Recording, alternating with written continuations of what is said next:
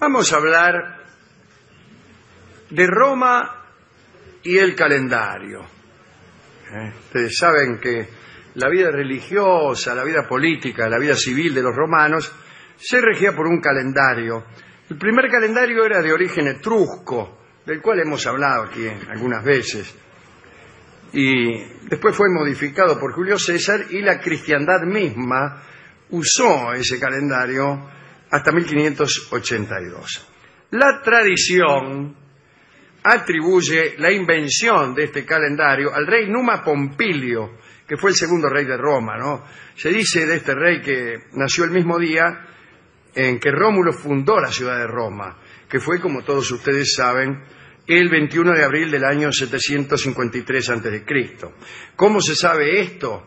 Y bueno, se sabe porque en realidad Cristo, lo que se sabe es que Cristo nació 753 años después de la fundación de Roma. Hay gente que tiene una idea errónea de lo que era el tiempo eh, antes de Cristo.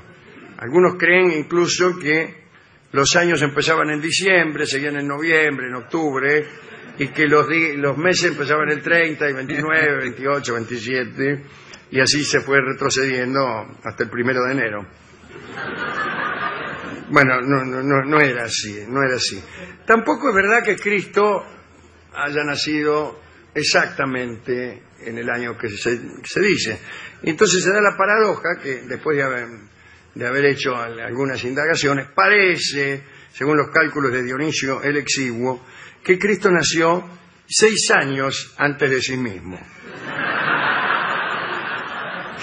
Hay otras discusiones también, como si hubo año cero. Claro. ¿eh? ¿Cómo- eh, ¿Qué quiere decir esto? Bueno, ¿qué vino? ¿Año 1 antes de Cristo? ¿Año 0, año 1 después de Cristo? ¿O Directamente. año 1 antes de Cristo, año 1 después de Cristo? Mm, Eh, el, el criterio más este, seguido es este segundo. O sea, no, no hubo año cero. Bueno, son discusiones. Este calendario del que hablábamos, ¿no? El invento del rey Numa Pompilio, eh, recuerdo lo- la, la lista de los reyes romanos, ¿no? Eh, primero Rómulo, eh, Numa Pompilio, Tarquino el Antiguo, Tarquino el Soberbio, Anco Marcio, Servio Tulio, Tulio Hostilio y Tisolero el Morocho. Esa lista la hicimos al griego Caracasi, que era un compañero nuestro que estudiaba Derecho. Cuando estudiábamos Derecho Romano, en el apunte le agregábamos, le agregábamos a un rey, a los reyes de Roma, que era Tisolero el Morocho. Y el tipo se lo estudió y se lo aprendió. Él es abogado ahora. Sí, de un importante Y los vivos que le hacíamos el chiste, no. bueno, según se dice, Numa Pompilio tenía poderes mágicos. Eh, cierta vez llenó las mesas de un banquete con manjares y con vinos que nadie había traído. Eh, tenía algunas divinidades menores eh, que le revelaban secretos que los hombres no conocían. Por ejemplo, conjuros contra el rayo. Dioses amigos que le decían, mira, para el rayo tal cosa, enganchar los dedos. Bueno, suponete. Y había escrito Numa libros sagrados llenos de estas revelaciones que fueron sepultados con él. Una mala idea. Sepultaron, parece, a Numa en un ataúd y a los libros en otro. Unos 400 años después de su muerte, 400 sería mejor, eh, una lluvia, ya esto fue durante la República, ¿no? Exhumó los féretros, la lluvia, como suele ocurrir, y entonces abrieron los, féretros y encontraron los libros, pero el rey Numa no estaba. El otro ataúd estaba vacío. Debe ser cuento, pero no importa. Eh, y vaya a saber por qué se les ocurrió a los romanos de aquel entonces quemar, que esos libros había que quemarlos. Entonces primero lo enterraron y después los quemaron. Eh, a nadie se le ocurrió leerlos. Qué cosa, parece la feria del libro. eh.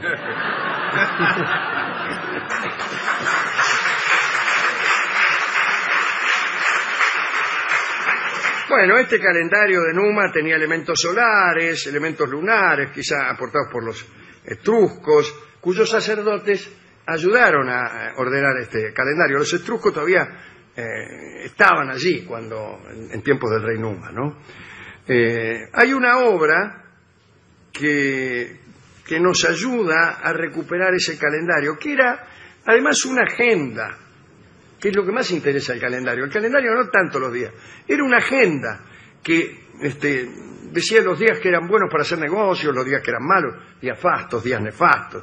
Y hay un libro de Ovidio, un autor muy transitado en este programa, recuerden ustedes la metamorfosis de Ovidio, y este es Los Fastos. Es un largo poema de 4.772 versos, este, eh, que aprenderse de memoria ya es una cosa, ¿no? Y ahí se describen día a día las festividades romanas de la primera mitad del año. Llegó hasta la mitad de Ovidio. Eh, este, Impresionante lo que hubiera sido todo el año. Sí, claro. Bueno, hubiera durado este, bastante más. Eh, en los tiempos primitivos, los romanos tenían un año de 10 meses. Solo 10 meses, desde marzo hasta diciembre. E ignoraban dos meses que no tenían nombre, meses muertos. Entonces empezaban en marzo, que era el mes dedicado a Marte, eh, que era por otra parte el padre de Rómulo, Marte, ¿no? el fundador de Roma. Eh, después venía Aprilis, que venía de Aperide, de abrir, la tierra se abre en ese mes en el hemisferio norte. Después venía Mayo, que estaba dedicado a Maya, una antigua diosa, que parece que andaba con Vulcano, el dios del fuego, que no tiene que ver con la griega Maya, la madre de Hermes, bueno, todas esas cosas. Eh, junio era tal vez dedicado a la diosa etrusca Juni, Iuni, ¿no? O, o tal vez a Juno, Juno, la forma romana de Hera, la mujer de Júpiter. Después venían los numerales, quintilis, sextilis, que ya en época del, del imperio, quintilis fue julio, por Julio César, y sextilis agosto por Augusto, y después septiembre, octubre, todos los que ya conocemos. Ahora bien, los etruscos hicieron una innovación, se introdujeron enero y febrero, que le dieron vida a los meses muertos. ¿no? Enero estaba dedicado a Jano, el dios de las dos caras, Januarius.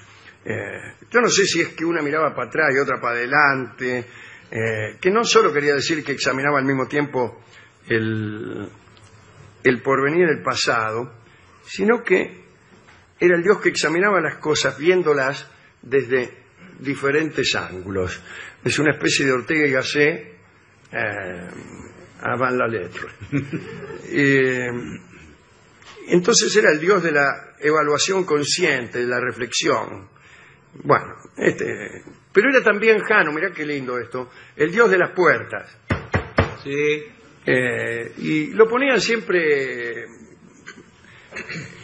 ponían siempre una imagen eh, arriba de las puertas. En época de guerra el templo de Jano estaba siempre abierto, porque decían que Jano ayudaba en la guerra, pero bueno, eh, cada vez que había una puerta metían una imagen del dios Jano. Bueno, no importa.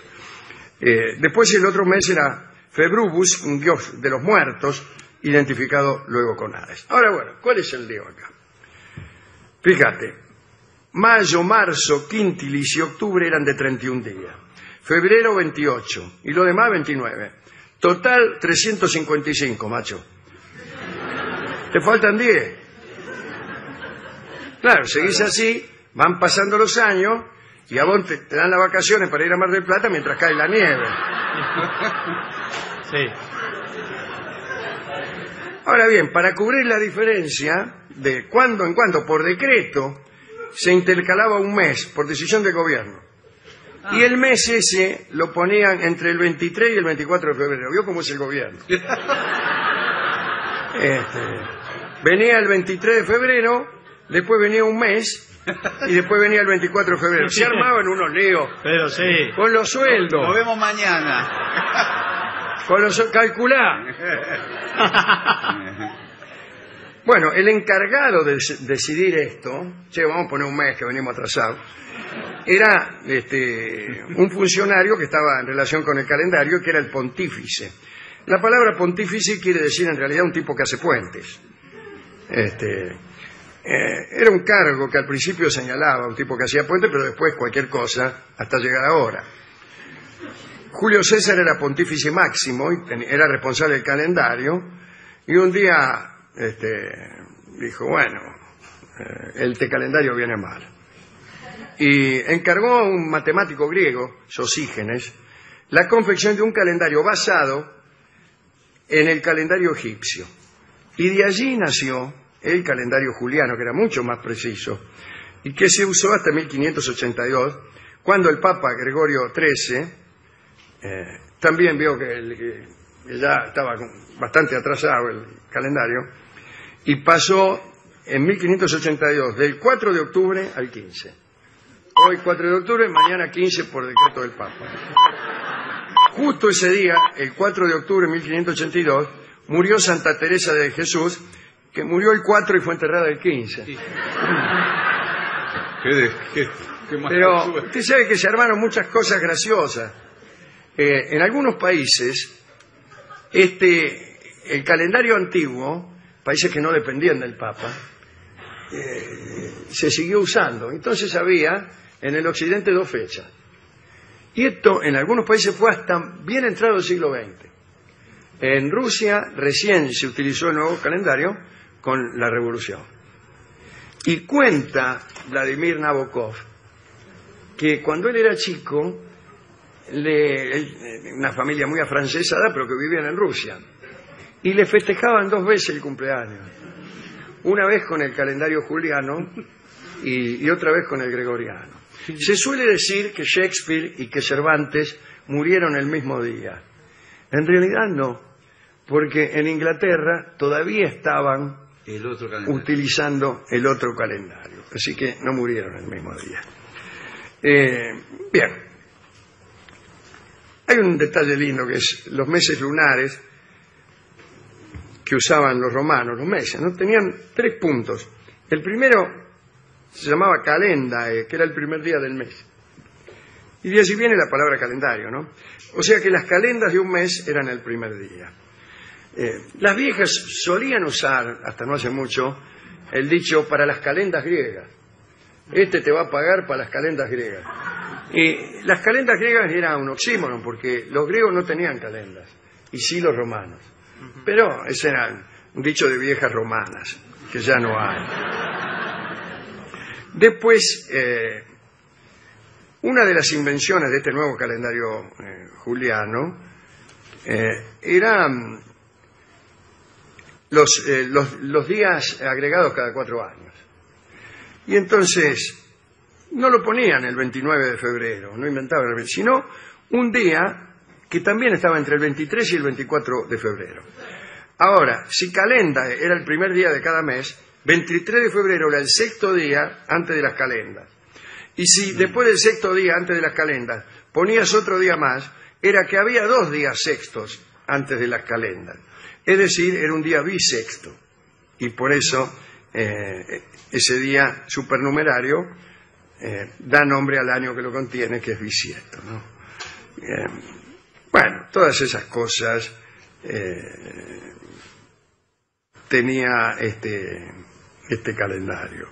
Había días que se llamaban fasti, fastos, durante las cuales se podían hacer negocios, otros nefastos, que no todos de, de mal agüero como se cree ahora, ¿no? pero en los que no, no se hacía mucho. Eh, había incluso días mixtos, que eran a la mañana fastos y a la tarde nefastos, como sabe cualquiera, como sabe cualquiera, ¿no? Y ahí estaban todas las fiestas, que eran obligatorias, este, la fiesta de los escudos, había fiestas el 14 o el 15 de mayo, había una procesión que iba a buscar unos muñecos y lo tiraban al río, creyendo que de este modo libraban a la sociedad de muchos males, había unas fiestas en diciembre que se llamaban Saturnales, que ahora nosotros llamamos Navidad. Bueno, eh, bien está haberse acordado de este calendario romano, que no solo era una manera de organizar la vida política, sino que era una agenda, una forma de saber cuándo se podía y cuándo no se podía hacer algo. Y también era una forma de vaticinar, al decir que ciertos días eran propicios y otros no, bueno, esta es una forma de, vaticinio. El martes no te cases ni te embarques es una forma de vaticinio. Eh, cuando pienso en a quién dedicar esta pequeña recordación, se me ocurre pensar en los dos personajes históricos cuyo homenaje es más prolongado, que son Julio César y, Octavio Augusto, que todavía se llaman así hoy los meses, ¿no? Eh, y siendo como soy yo uno de los que creen que el calendario es el tiempo, eh, me temo que el calendario es para el alma una metáfora. y particularmente una metáfora de la espera. El calendario está relacionado con la espera. ¿Qué es lo que hace un tipo cuando está en cana? Sí, Sino días. hacer él su propio calendario, lo escribe, lo escribe en la pared, ¿no? Marcando rayitas. Eh, ¿Para qué consulta uno con más frecuencia el calendario sino para saber cuánto falta para que algo suceda, ¿no? Y yo creo que así como los romanos señalaban en cada día si es que era propicio para los negocios o si no lo era, los calendarios que nos regalan los tintoreros, que son los que han reemplazado a los pontífices en el cuidado del calendario, ahora son los tintoreros, ¿no? Por favor. Deberían eh, hacer constar cuándo van a ocurrir las cosas que esperamos que ocurran. Y así cada año podíamos consultar, bueno, aquí te va a pagar tu cuñado, aquí sucederá esto, aquí lo otro. Pero bueno, también podría decirse que esperar es engañoso, que en cada espera hay una trampa, eh, que esperar desgasta y que los sucesos son a veces como sombras fugitivas, que como la zanahoria que tienta al burro va engañando al hombre esperanzado, ¿no? Digo, en vista de esta última consideración, yo decretaría la anulación del calendario y haría la experiencia de una vida sin calendario. Y no me vengan ahora con que esto se parece a esas cosas que dicen la gente que lee el principito, ¿no? y que quema saumerios en la casa y que dicen que ellos no tienen reloj porque viven libremente. No, no, no, no. Es la experiencia de saber qué podría ocurrir en un mundo donde nada esté sujeto a los acontecimientos futuros. ¿Y quieren que les diga qué ocurriría? Pues la civilización se desbarrancaría, porque no hay una sola cosa que hagamos que no tenga su punto de apoyo en el futuro, que no sea mirando hacia adelante, que no sea atando la soga por la cual nos deslizamos a algo futuro de lo que hacemos depender nuestro presente. No hay otra cosa que esperanza. La esperanza de cobrar el sueldo a fin de mes, la esperanza de convertirse en un abogado si es que uno estudia, Dios mío. Comprar un cinturón para que luego los pantalones no se nos caigan.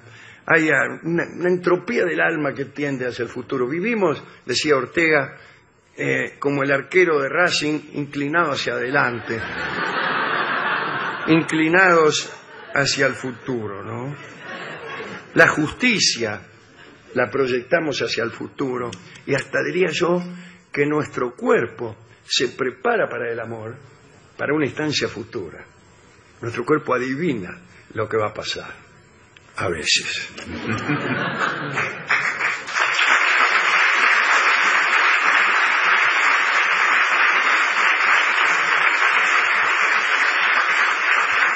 Entonces, la dedicatoria de hoy es hecha para los que esperan, y todos esperan.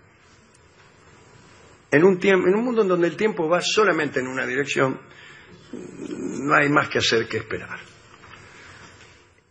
Hemos ido a la discoteca para que nos dieran un disco que tuviera algo que ver con el almanaque. Sacó el tipo y así, tome. No hay. Dice, ¿cómo se llama esta samba? 7 de abril. Ah, Listo. Bueno, No, ¿qué señor. tiene que ver? Es un una samba que aparece en el almanaque. Me Bueno, mostró el por- 7 de abril. aquí. Bueno, por favor. Vamos a escuchar entonces, dedicado a Julio César, el inventor del almanaque, esta samba en la versión de eh, Eduardo Falú, la 7 de abril.